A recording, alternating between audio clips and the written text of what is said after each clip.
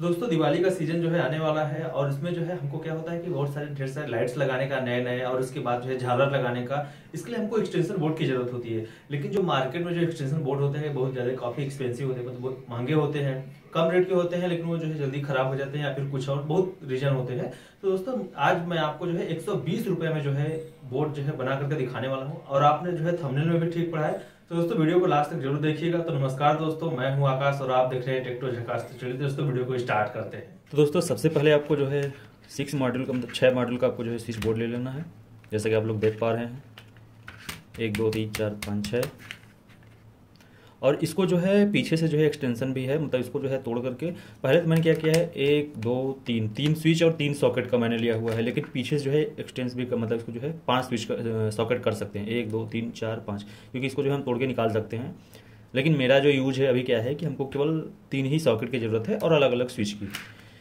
तो अब इसके लिए ये हो गया और इसके लिए फिर आपको जो है तीन सॉकेट चाहिए। और यदि आप पाँच सॉकेट लगाना चाहते हैं तो आप पाँच भी लगा सकते हैं, लेकिन मुझे तीन की ज़रूरत है। तो तीन मुझे सॉकेट हो गया। और हमको अलग अलग स्विच चाहिए तो हम जो है तीन स्विच ले लेते हैं। जैसा कि आप लोग देख पा रहे हैं। तीन स्विच हो गया। और फिर उसके बाद जितने मीटर आपको वायर की ज़रूरत हो, मैंने मेरे को जो है तीन से चार मीटर वायर की ज़रूरत थी, मैंने वो ले लिया। जैसा कि आप लोग देख पा रहे हैं। और फिर एक जो है प्लग की। प्लग आपको टू पिन की ज़रूरत है कि थ्री पिन की है जो है आप देख लीजिए। कि जैसा मतलब आपको ज़रूरत हो, मेरे को जो है टू पिन की ज़रूरत था तो मैं जो है ले लिया। तो अब जो है इसका जो है अब वायरिंग स्टार्ट करते हैं। दोस्तों, यहाँ पर जो है मैंने बोर्ड का फिटिंग कर लिया है, स्विच और सॉकेट का।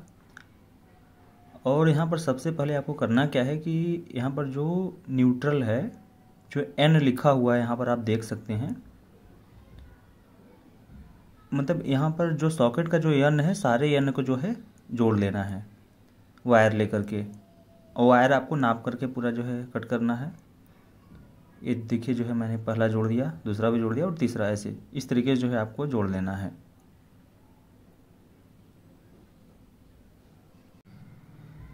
और अब जो है आपको जो स्विच का जो नीचे वाला जो पॉइंट है और उसके बाद जो नीचे वाला टर्मिनल है और एक सॉकेट का जो भी पी बचा हुआ है, जैसा कि आप लोग वीडियो में देख पा रहे हैं, इसको इसको और इसको और इसको। इसको जो है आपस में जोड़ देना है। छोटे छोटे जो है वायर लगेगा। इस तरीके जैसे देखिए मैंने अभी जोड़ रखा है वीडियो में। और तीसरे का देखिए मैं कनेक्ट कर रहा हूँ तो इस तरीके से जो है आप कर सकते हैं।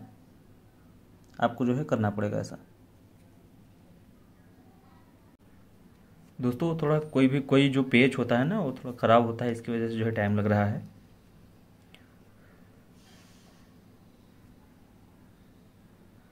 तो ऐसे जो है आपको कनेक्शन जो है करके जो है, अब उसके बाद क्या करना है कि एक छोटा सा और वायर लेना है और जो तीनों स्विच का जो टर्मिनल है, उसको जो है आपस में तीनों को कनेक्ट कर देना है। तो सबसे पहले आपको वायर लेना है और नाप लेना है कि मतलब कितना वायर लग रहा है और उसके बाद उतना दूरी तक आपको जो है छील लेना है।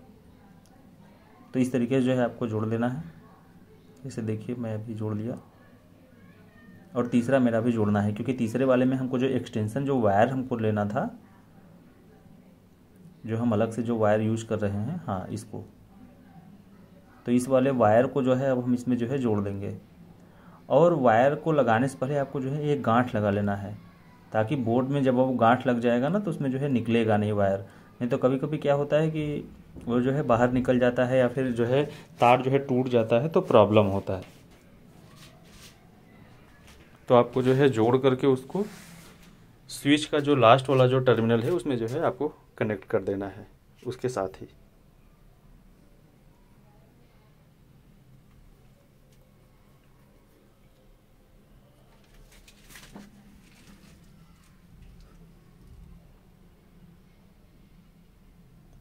और उसके बाद एक जो और वायर बच रहा है, उसको जो न्यूट्रल वाला जो पॉइंट था ना सॉकेट का उसमें जो है, उसमें जो है जोड़ लेना है आपको।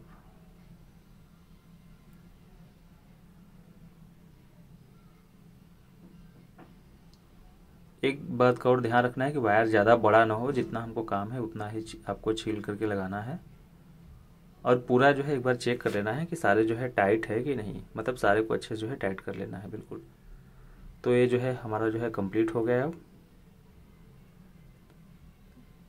आप एक बार फिर से वायरिंग देख सकते हैं। तो मैंने पहले ऐसे ही रख करके जो है टेस्ट करना चाहूँगा। और इसमें जो है आपको प्लग कस लेना है। तो हमारा जो है प्लग जो फिनिश हो गया। अब हम जो है अपना एक और एक्सटेंशन बोर्ड लाते हैं, उसमें जो है प्लग को फिटिंग करते हैं। प्लग को लगाते हैं।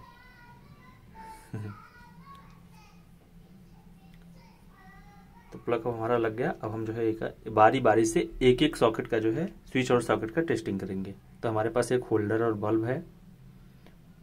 प्लग होल्डर है। तो हम इसको लगा करके अब जो है तो हम इसको लगा करके अब ऑन करते हैं। ये देखिए। इसमें जो है पूरी अच्छे तरीके से काम कर रहा है, कोई प्रॉब्लम नहीं है।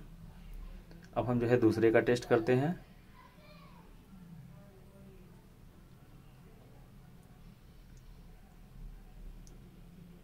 देन थर्ड का जो है, तीसरे का हम टेस्ट करते हैं।